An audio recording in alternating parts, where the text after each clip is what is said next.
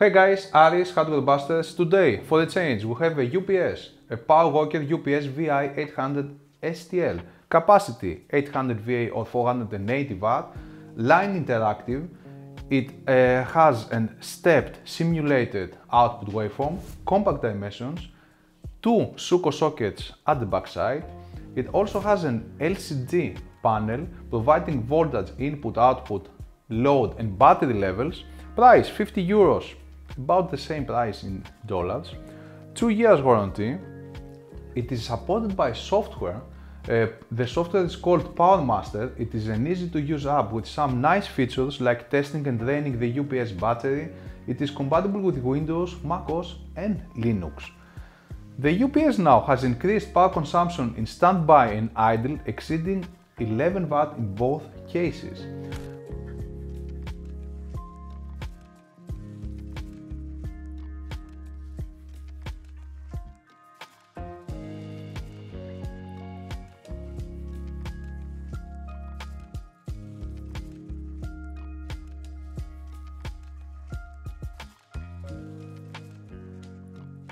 The battery lasted 4 minutes and 4 seconds with a 300 watt load, which is a satisfactory period.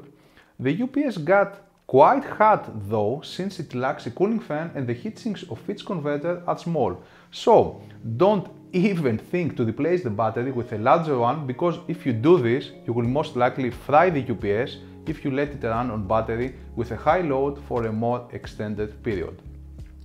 Finally, the power factor is very low while the UPS is on battery because of the stepped output.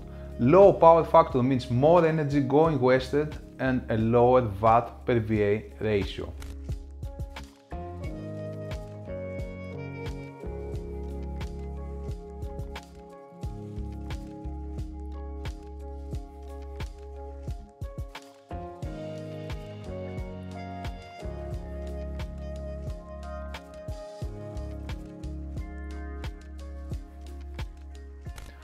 Battery switching time, AC loss and AC gain. The switching time to the battery is over 10 milliseconds and for the clean output it exceeds 20 milliseconds. So you better use a good PSU with this UPS if you connect to a PC at least. A PSU that meets the ATX specs minimum hold up period.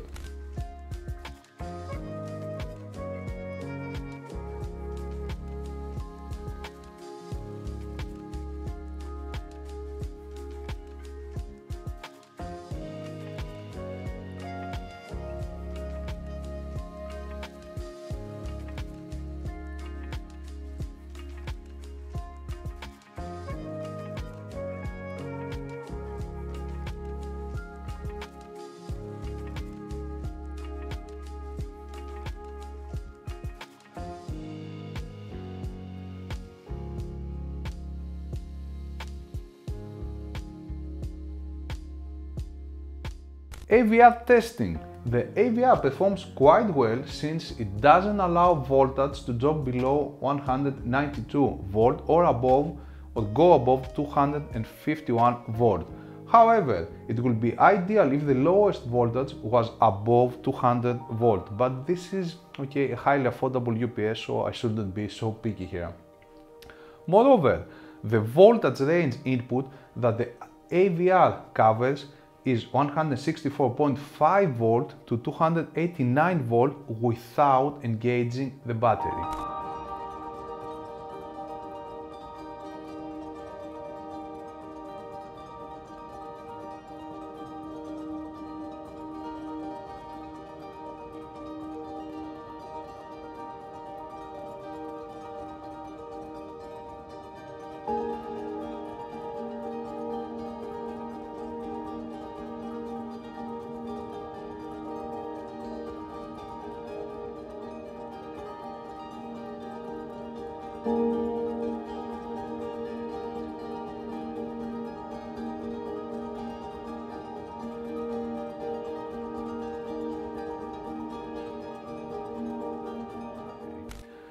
Difficulty of uh, battery changing procedure. To reach the battery, I had to remove the bottom screws since the front cover didn't want to go out and I didn't want to damage the casing. The battery is rated at 12 volt and it has 7.5 ampere hour capacity. It is provided by Fujian Minhua Power Source, a brand that I had never heard of before. Besides the battery, we find a plain layout with several major filtering components missing at the internals. In the input and output filters, we only find X caps and no other filtering parts. There is no MOV in the UPS input, so this device doesn't offer surge protection. This is a big miss since MOVs are not expensive but can save the day in case of voltage spikes. The main transformer is rated at class B, meaning that its insulation is good at up to 130 centigrade with an ambient of 40 centigrade. The unit's inverter uses 8 N-channel FETs provided by Wuxi China Resources each can handle up to 150 amps, so on paper they are okay, but they are installed on tiny heatsinks so their cooling is inefficient, meaning that a bigger battery could lead to problems. Capacitors. The caps I found on the board are, are by Samxon, except the DC Link cap by Jamicon, which is pretty good. Bottom line, this is an affordable UPS so I didn't expect much. I cannot understand though why to save some pennies and don't install and MOV which would provide surge protection and essential protection for the UPS and its connected system. In other words, it is a great shame for a UPS not to have an MOV in its input. Moreover, the filtering stages only included single X caps so they are not adequate. With $1 tops more, this product will be way better and above all, safer. They used small heatsinks on the inverter to save some more bugs which get hot as hell, so don't even dare to replace the battery with a larger one, unless you like fireworks. For the small system and given that it is used along with a surge protector, this PowerWalker UPS will be okay.